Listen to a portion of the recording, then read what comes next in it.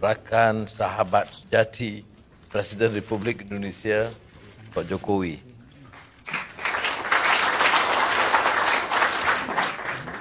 Kepala Perdana Menteri, Menteri-Menteri Indonesia dan Malaysia dan saudara yang saya muliakan. Saya tidak mau anggap ini sebagai lawatan kerja biasa ataupun hubungan dua hala biasa. Kerana saya anggap Presiden Jokowi dan rakan-rakan Indonesia seperti yang saya sengkapkan tadi sebagai sahabat sejati. Dan perundingan kita itu perundingan keluarga, sahabat. Ini terbukti Bapak Presiden bahawa dalam hubungan sejarah hubungan dua hala dengan mana-mana negara di dunia dalam pengalaman kita peningkatan kerjasama dan persefahaman dalam masa yang singkat dengan Indonesia ini luar biasa termaterainya beberapa memorandum persefahaman selain itu bidang kerjasama antara polis diraja Malaysia dengan polis Indonesia, Menteri Pertahanan Indonesia dan Menteri Pertahanan. Ya. Yang walaupun tidak tercatat dalam Persefah, tetapi kerjasama dua hal itu sampai ke tahap yang sangat membanggakan dan akan memberi faedah dan manfaat bukan saja kepada pemerintah dan kerajaan tetapi kepada rakyat Malaysia dan Indonesia. Umpamanya kalau kita teliti beberapa perjanjian hari ini. Dalam pertemuan saya di Bogor, saya fikir di Solo tadi. Uh, Bapak Presiden dengan cara santai beritahu saya, eh, Anwar, runding ini sudah puluhan tahun batasan. Tak mampu diselesaikan. Jadi komitmen presiden itu sangat jelas. Sebab itu pengarahan kita di sini dan sambut baik di sana. Terutama dengan dua di luar. Satu jalur keras, satu jalur sederhana. itu sangat akrab dan memudahkan. Dan saya bangga dengan pimpinan kedua-dua hari ini, rakan-rakan lain. Kita dapat selesaikan satu isu yang telah kita gunding selama berpuluh tahun. Dan hari ini kita saksikan ada yang soal kecil yang akan kita putuskan mengikut instruksi Bapak Presiden Jun tahun depan. Kok saya pun diberi instruksi sekali gitu.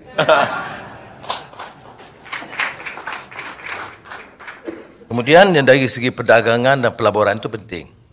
Sebab itu kita berikan penumpuan yang lebih dalam nomor persefahaman ini tentang pelaburan langsung asing, pelaburan di sempadan yang dipermudahkan.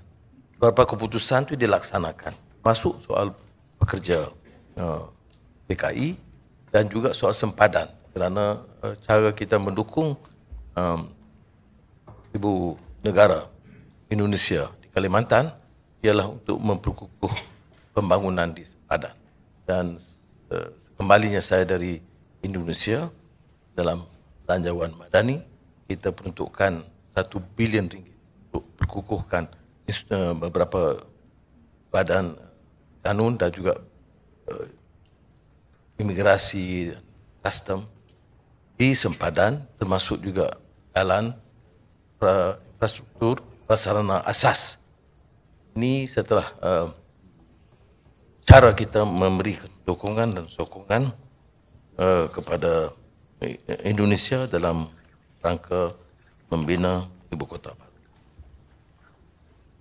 Yang lain itu adalah pembatasan sepadan darat dan maritim seperti kita dah beritahu tadi. Kerjasama ekonomi meningkat tapi ada satu aspek yang uh, Presiden Jokowi agak tekankan dengan begitu tegas. G7 dan di beberapa forum antarabangsa lainnya untuk menjaga dan melihara kepentingan urusan dagang kita, pengeluaran kelapa sawit, bukan saja untuk syarikat-syarikat besar tetapi juga untuk kebun-kebun kecil. Dan kita sambut dengan baik dan saya ucap tahniah dan kedua-dua menteri dalam rapat Eropah adalah pertama kalinya satu suara Indonesia Malaysia menyuarakan pertahankan kepentingan kelapa sawit sawit.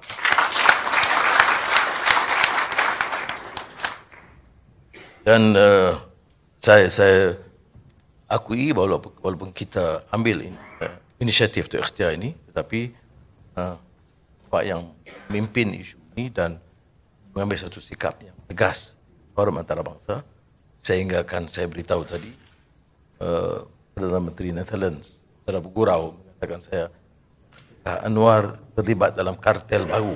Saya mula tak dapat tangkap rupanya. Rupanya istilah kartel itu digunakan juga oleh uh, Bapak Presiden dalam pertemuan G7 untuk pertahankan kepentingan ekonomi negara dan rakyat. Jadi uh, yang lain-lain itu macam isu uh, sempadan termasuk jerbu kerjasamanya um, peningkatan soal kebudayaan, pendidikan, kegiatan dakwah yang sederhana, um, pemahaman Islam yang diamalkan di Indonesia yang boleh kita manfaatkan. Itu semua insya-Allah kita akan teruskan kerana ini memberi makna persahabatan dan kerjasama yang akrab. Jadi uh, acara Presiden Jokowi hari ini itu luar biasa. Santai terus. Kita mau ke mana? Mau ke Coket, Kampung Baru. Oh, saya kata ini presiden. Kita, jadi kita persulitkan juga kita ini soal. Tapi itulah sosok presiden Indonesia ini. Hmm. Selain ke Istana Negara petang nanti dan Sri Perdana, pilihannya masih terus ke Medan, rakyat Arhain di Kuala Lumpur. Jadi sekali lagi saya ucap terima kasih bagi pihak Azizah dan keluarga, bapa dan ibu uh, ini dan saya harap ada presiden atau sesudahnya bapa tetap keluarga dan sahabat kami kami anggap biasa seperti mana bapa anggap kami ada terperosok di penjara atau keluar itu masih sahabat sejati. Terima kasih. Pak. Bismillahirrahmanirrahim. Assalamualaikum warahmatullahi wabarakatuh.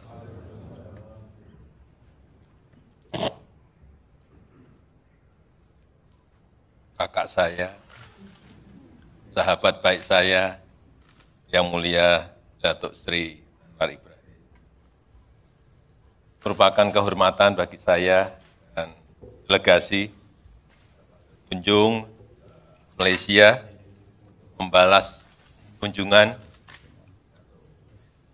Ibrahim ke Indonesia pada bulan Januari yang lalu. Eh, tadi sudah banyak disampaikan oleh Datuk Anwar.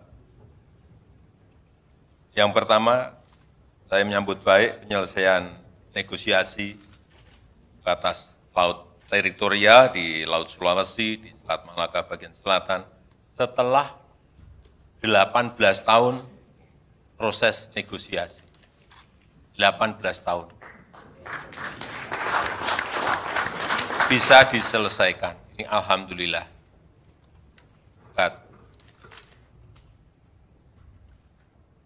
Sri Anwar Ibrahim yang bekerja bantu para menteri. Saya juga berharap negosiasi perbatasan lainnya, termasuk di darat, Badik, kemudian Sinapat selesai, juga bisa segera diselesaikan. Mumpung Perdana Menterinya masih Datuk Sri Anwar Ibrahim, dan di Indonesia presidennya masih Jokowi.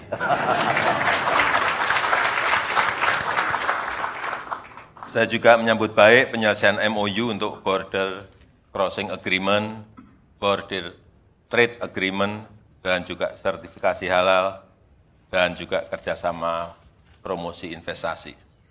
Kemudian yang kedua mengenai perlindungan pekerja migran Indonesia, saya sangat menghargai sekali komitmen eh, Datuk Sri Anwar Ibrahim untuk memperkuat perlindungan PMI Indonesia dan juga penegakan hukum yang adil bagi para pekerja uh, Indonesia.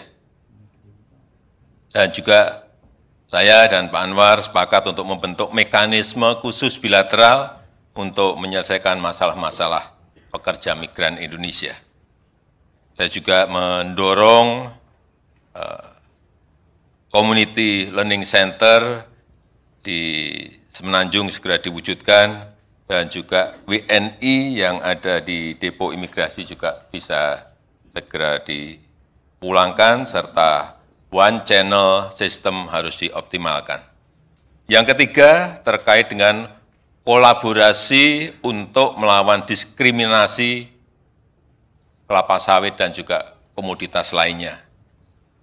Saya sangat menghargai baru-baru ini dilakukan joint mission Indonesia Malaysia ke Brussels dan kolaborasi semacam ini harus terus diperkuat. Jangan sampai uh, komoditas komoditas yang dihasilkan oleh Malaysia, oleh Indonesia didiskriminasi di negara lain. Saya rasa itu yang ingin saya sampaikan.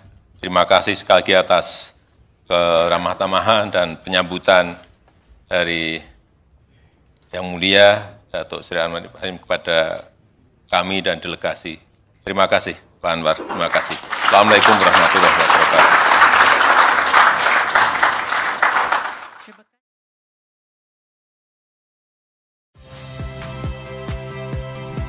Saya Yasir Neneama. Saksikan program-program Kompas TV melalui siaran digital, pay TV dan media streaming lainnya. Kompas TV, independen, terpercaya.